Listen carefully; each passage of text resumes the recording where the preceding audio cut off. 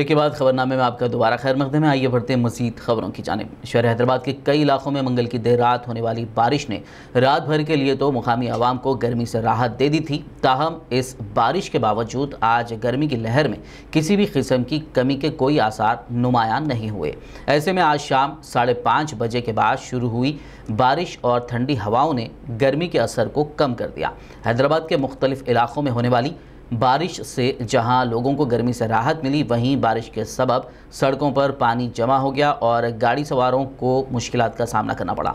कल रात तकरीबन साढ़े बारह बजे से बारिश का सिलसिला शुरू हुआ, जो सुबह तकरीबन साढ़े छः बजे दिन तक जारी रहा और फिर शाम के अवकात में फिर से बारिश रिकॉर्ड की गई।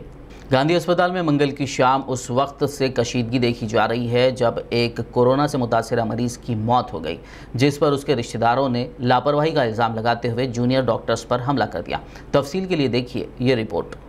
शहर हैदराबाद के गांधी अस्पताल में जहाँ कोरोना वायरस से मुतासर मरीजों का इलाज किया जा रहा है, वहाँ मंगल की शाम कोरोना से मुतासरा एक मरीज़ के फौत हो जाने के बाद उसके रिश्तेदारों ने पीजी मेडिकल तालब इल्म पर हमला किया था जिसके खिलाफ कल रात ही से पीजी मेडिकल तलबा गांधी अस्पताल में एहतजाज कर रहे हैं और ये एहतजाज आज भी जारी रहा ఏం చేయలేక బయటకు వచ్చి అందరు ఫోన్ చేస్తే తప్ప ఒక రెస్పాన్స్ లేదు అక్కడ protection sixty five bedded ICU twenty four hours అక్కడ డ్యూటీస్ చేస్తున్నాం టూ వీక్స్ నుంచి అక్కడ నడుస్తున్నది ఇంతవరకు ఒక్క పోలీస్ లేదు అక్కడ. సెక్యూరిటీ ఉన్నది ఒక్క సెక్యూరిటీ పైన. అసలు టూ పేషెంట్స్ దగ్గరికి అటెండెన్స్ అలవ్ లేనప్పుడు ఇద్దరు పైకెట్లు వచ్చింది అది ఒక్కటే కాదు. ఆల్మోస్ట్ సిక్స్టీ ఫైవ్ బెడ్స్లో ఆల్మోస్ట్ ఒక ట్వంటీ బెడ్స్కి అప్పుడప్పుడు అటెండర్స్ వస్తూనే ఉన్నారు పోతూనే ఉన్నారు. సరిగ్గా ప్రొటెక్షన్ లేదు అక్కడ లోపలికి అలవ్ లేదు అంటే కూడా వస్తూనే ఉన్నారు. ఇది జరిగింది ఫస్ట్ ఇన్సిడెంట్ కాదు.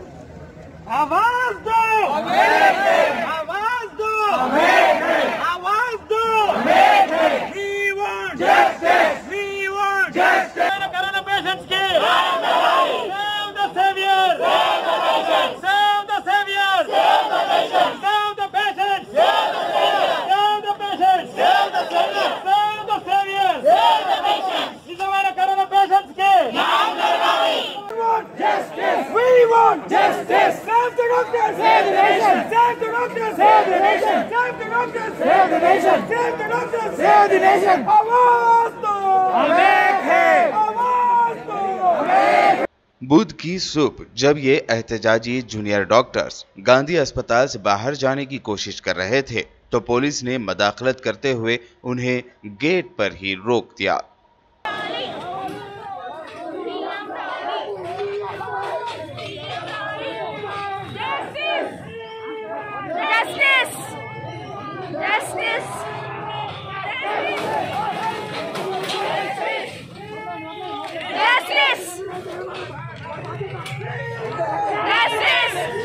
पुलिस की जानिब से गेट पर रोकने की कोशिश के बावजूद, ये लोग अस्पताल के सामने की सड़क पर निकल आए और हाथों में प्ले कार्ड थामे नारे लगाने लगे।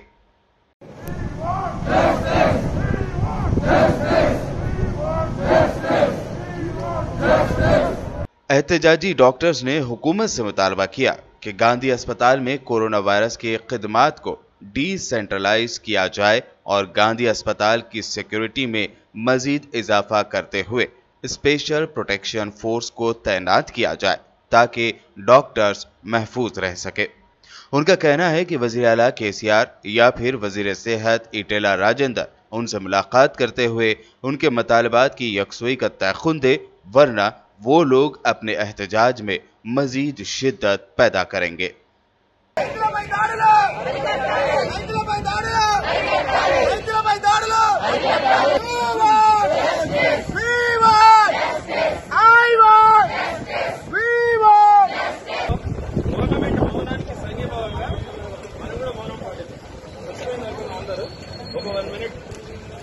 మౌన్ స్టార్ట్ చేసుకొని సేమ్ ఇదే సింబాలిక్ గా ఒక వన్ మినిట్ ఉండాలి ఏ స్లోగన్ ఏది అవసరం లేదు కెరియర్ వేస్ట్ చేసుకొని లైఫ్ స్పాయిల్ చేసుకొని మన మైండ్ కూడా వేస్ట్ చేసుకోవాల్సిన అవసరం లేదు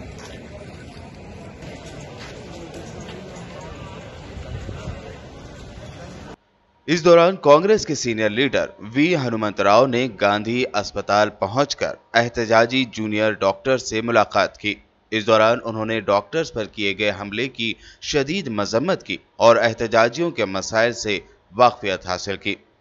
कांग्रेस लीडर ने भी वजी अला आर को यहाँ आकर इन जूनियर डॉक्टर से मुलाकात करते हुए उनके मसाइल हल करने का मुतालबा किया।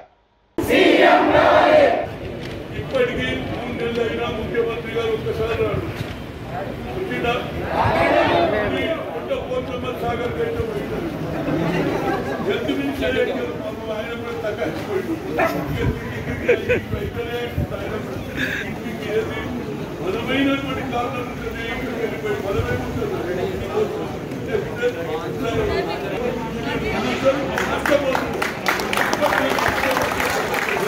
गांधी अस्पताल के जूनियर डॉक्टर्स का कहना है कि वो यहाँ पर खिदमत करने के लिए हैं न कि तकलीफ बर्दाश्त करने के लिए उन्होंने हुकूमत से फौरन उनके मसाइल की यकसोई का मुतालबा किया Bureau report BBN news. दूसरी जानब, हैदराबाद पुलिस ने गांधी अस्पताल में पीजी मेडिकल के तालब इल्म पर हमले के वाक़े के सिलसिले में दो अफराद को गिरफ़्तार कर लिया है।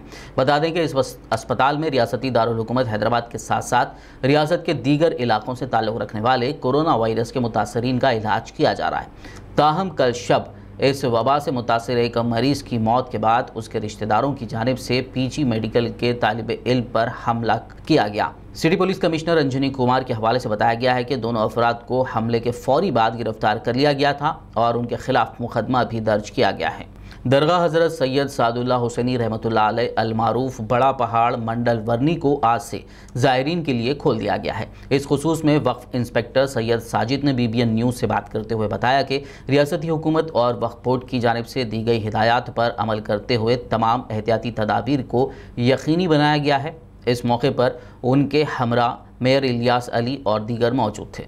चेयरमैन सलीम साहब की हिदायत और सी ओ वक्फ बोर्ड हमीद साहब की हिदायत पे यहाँ पे जो नया और एक साल के लिए जो टेंडर का जो है सो नज़म आज से शुरू हुआ है और नए कंट्रैक्टर्स को जो है सो यहाँ पे बोर्ड चेयरमैन और सी ओ साहब और रेवेन्यू डिपार्टमेंट के तहसीलदार साहब एडिशनल कलेक्टर साहब और अपना हमारे police department ACP Bodhan C C I रुजूर और एस एच ओ इन सब की हिदायत पे एक्शन कंट्रैक्टर्स को सैनिटेशन को प्रोवाइड करने के लिए पाबंद किया गया है। वो लोग जो है सैनिटेशन का काम इन कल से जो है यहाँ पे सैनिटेशन और मास्क और डिस्टेंस मेंटेन करते हुए तमाम ज़ायरीन से दरख्वास्त है कि वो मास्क के साथ और डिस्टेंस मेंटेन करते हुए दरगाह से आके यहाँ पे जो है ज़ियारत करें और सबके लिए दुआ करें। एमपी के स्टिकर के साथ कार चलाने वाले शख्स ने लोगों को बंदूक से खौफजदा कर दिया। ये वाक़ शहर हैदराबाद के माधवपुर में कल शब पेश आया। ये पूरा वाक़ कैमरे में कैद हो गया और तेज़ी से सोशल मीडिया के मुख्तलिफ़ ज़राए पर वायरल भी हो गया। इस वाक़े के साथ ही मादापुर में सनसनी फैल गई। तफसीत के मुताबिक एक स्कॉर्पियो कार मस्तान नगर इलाके की एक डेड एंड गली में दाखिल हुई और रास्ता ना रहने की वजह से जब गाड़ी को रिवर्स लिया जा रहा था तो दूसरे गाड़ियों से टकरा गई। जिस पर मुकामी लोगों ने मदाखलत की तो कार में सवार एक शख्स ने बाहर निकलकर बंदूक दिखाने लगा मुकामी लोगों ने इस बात की शिकायत पुलिस से की पुलिस ने वहां पहुंचकर हालात का जायज़ा लिया और आर्म्स एक्ट के तहत एक केस दर्ज करने के साथ ही कार और उस शख्स की तलाश शुरू कर दी సమస్య పోలీసు అనుకున్నాం అయితే పోలీసు వాళ్ళు వచ్చుంటారు లేదా మామూలుగా కరోనా ఉంది కదా పెట్రోలింగ్ అది వచ్చాం అనుకున్నాం అయితే కాసేపు బండి సౌండ్ వచ్చింది పెద్దగా బండి బండి తగిలించాడు సరే అందరూ బయటకు వచ్చాం మేము వచ్చి పక్కింటి వాళ్ళు అందరూ చాలా మంది బయటకు వచ్చారు అప్పటికి బండి ముందుకు వెళ్ళిపోయింది సరే చాలా ముందుకు వెళ్ళిపోయి అక్కడ స్టక్ ముందుకు వెళ్ళడానికి ఆప్షన్ ఉంటుంది బండి. లాస్ట్లో కరువు టర్నింగ్ ఉంటుంది బాగా డీప్ టర్న్ ఉంటుంది వెళ్ళడానికి ఉండదు. సో అక్కడ బండి ఆపేసి చాలా సరే మేము ముందుకు వెళ్ళాం మేము ముందుకు వెళ్ళే లోపే అక్కడ ఇంటి వాళ్ళకి వచ్చి అన్న ఏంది ఎక్కడ అని అంటే గంది చేసి వాళ్ళకి చూపించాడు ఫస్ట్ అక్కడ. మా వాళ్ళు ఉంటారు అక్కడ మా అయిపోవాలని చెప్పి. వాళ్ళ ముందు వాళ్ళు ఫస్ట్ వాళ్ళ గన్ పెట్టాడు సరే వాళ్ళు ఏమనలేదు. అలా రివర్స్ వస్తామంటే నేను వెళ్ళాను ఎదురు. వెళ్ళి ఆయనకి ఎదురు నించుంటే గన్ పెట్టి ఇవ్వడాను అన్నాడు. అన్న ఏందన్నా అంటే బండ్లు పక్కకు తినాను నా బండ్లు కావు నేను పక్కకు తీయను అన్న. పక్కకు తీయంటే మరి నువ్వెందుకు వచ్చిన వీడికి అన్నాడు. ఏం రావద్దా? అని అడిగాను అడిగితే ఇల్లే ఉంది అన్నాడు ఇల్లే అన్నాడు నన్ను ఎందుకు కడుతున్నాడు నీళ్ళు అంటే ముందు నా ఇల్లు అని చెప్పిన సో అన్నాక గన్ను మొహం మీద పెట్టి నువ్వు నడు అన్నాడు సరే అని పక్క వచ్చినాం పక్క వచ్చిన తర్వాత ఆ, గన్ను మొహం మీద డైరెక్ట్ గా ఫేస్ మీద పెట్టాడు డైరెక్ట్ గన్ను చాలా మంది చూసారు ఎవరు అడగచ్చు డైరెక్ట్ ఫేస్ మీద పెట్టేసిండు शंकरपल्ली के करीब पटरियों पर एक नौजवान की लाश मुशतबा हालत में दस्तियाब होने से सनसनी फैल गई। इस बात की इतला पर रेलवे पुलिस ने मुकाम हादसा पर पहुंचकर नाश का पंचनामा किया और नौजवान की शनाख्त 26 साल मोहम्मद समीउद्दीन के तौर पर की। बादियादा नाश को पोस्टमार्टम के लिए विखराबाद सरकारी दवाखाना मुंतकिल कर दिया गया। वहीं इस बात की इतला इस नौजवान के अफराद ख़ानदान को भी दी गई। बताया गया है कि मुतवफ़ी का आबाई वतन विखराबाद के मौज़ा सदुलुरु है और कई सालों से वो हैदराबाद के एनटीआर नगर में मुकीम है। मुतवफ़ी के अफराद ख़ानदान ने मीडिया से बात करते हुए बताया कि चार दिन पहले मोहम्मद समीउद्दीन अपने दोस्तों के साथ घर से गया था। अचानक मंगल के दिन शंकरपल्ली के करीब रेल की पटरियों पर उसकी लाश मिलने की इत्तला उन्हें मौसू हुई। अफराद ख़ानदान ने इस बात का शक ज़ाहिर किया है कि उनके लड़के का किसी ने कत्ल करके पटरियों पर लाश को डाल दिया। उन्होंने पुलिस से इस सिलसिले में इंसाफ का मुतालबा किया है। वहीं पुलिस ने एक केस दर्ज करते हुए तहकीक़ात का आगाज़ कर दिया। चार दिन से तो नहीं मिला दोस्ताने में गया। कहाँ खाए, क्या पिए, क्या करें, नहीं मालूम। बहरहाल वो शंकरपल्ली के करीब, फतेहपुर के करीब में, वो डेड बॉडी मिली। डेड बॉडी की वो पुलिस वाले जो गाड़ी पटरी पे जो जाते ना उनके लिए साफ़ करने वाला वो वो लोगों क्या करे वो तो इसको किसको, स्टेशन मास्टर को इन्फॉर्मेशन दी उन्हें लेकर के क्या रेलवे पुलिस को इन्फॉर्मेशन दी वो लोग जाने के बाद स्पॉट में जाने के बाद तो बच्चा फलाने का है उनको हमारा आई डी प्रूफ लग बता के व्हाट्सअप में मैसेज करे तो हम लोग आके वहाँ पे देखने के बाद तो हमारा बच्चे की डेड बॉडी है बोल मालूम हुआ उसकी देरी से हमारे क्या बोले तो पुलिस वाले पूछे, क्या तो ये क्या बोले तो हमारे लिए गाड़ी लगी बिल्कुल, मालूम हुआ तो गाड़ी नहीं लगी, सब हमारे को ये मर्डर करे सो है, इसकी पूरी जान पूछ करना। या हमारे को ये जो भी है इंसाफी दिलाना बोल के हम लोग पुलिस वाले से रिक्वेस्ट करें। हैदराबाद के Asif Nagar police station limits में किराएदार और मकानदार के दरमियान तनाज़ा की खबर सामने आई है। तफसीत के मुताबिक आसिफ नगर के इलाके फील खाना के एक अपार्टमेंट में रह रहे किराएदार ने न सिर्फ़ अपने मालिक के मकान पर हरासानी और ज़बरदस्ती रकम ऐंटने का इल्ज़ाम लगाया है, बल्कि आसिफ नगर पुलिस पर भी जहनी हरासानी का इल्ज़ाम आयद किया है। किराएदार शफ़ी ने मीडिया से बात करते हुए पूरा वाक़ सुनाया और उनके साथ हो रही ज़्यादती पर इंसाफ का मुतालबा किया।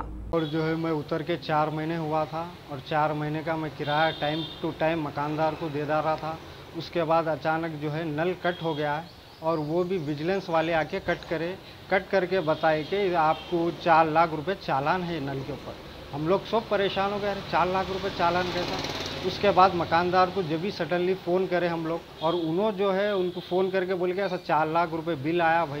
बोले तो वो क्या है कि मेरे को नहीं मालूम, वो आप लोग पे करना। बोले, हम लोग परेशान हो गए। अरे मतलब चार लाख रुपए पे हम क्यों करेंगे? और नलका भी नहीं, वो चालान भी है ऊपर से।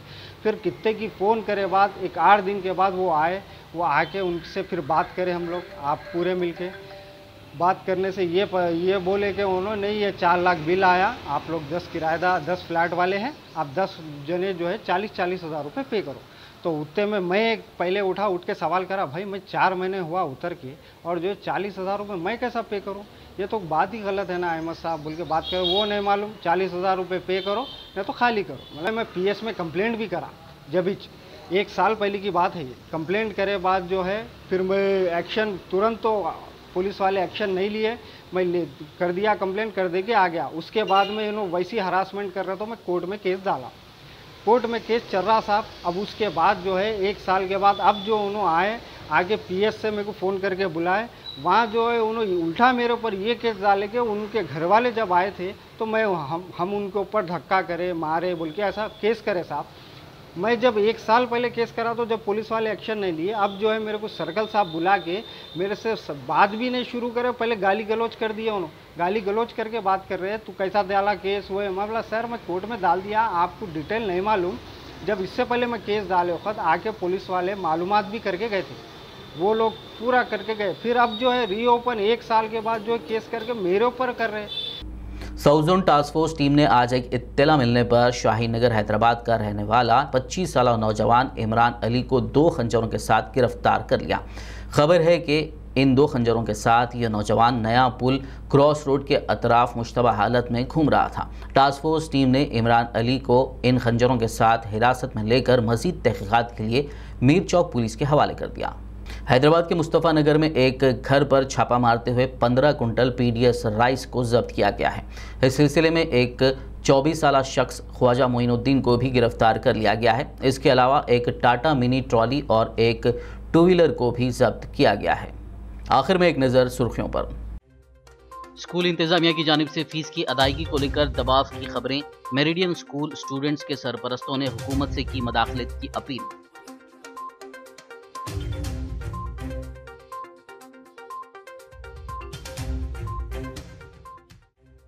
फार्म हाउस मामले में हाईकोर्ट से केटीआर को मिली राहत, एनजीटी के अहकाम पर लगा दी रोक।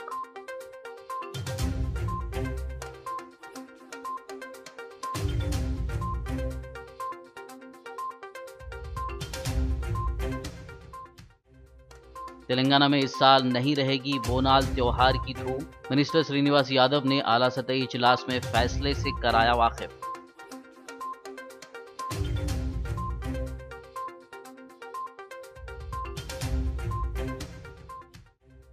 हैदराबाद के कई इलाकों में मंगल की देर रात मुसलसल छह घंटों तक जारी रही बारिश। आज शाम भी होने वाली बारिश के बाद लोगों को मिली गर्मी से राहत।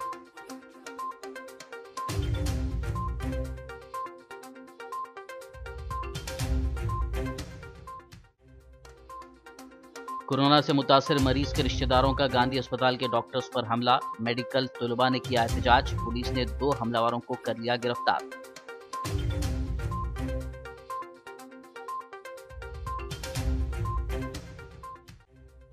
गांधी अस्पताल के जूनियर डॉक्टर्स ने किया इजाफी सिक्योरिटी का मुतालबा। कांग्रेस लीडर हनुमंत राव ने की। वज़ीर आला केसीआर से मसाइल की यकसुई की मांग।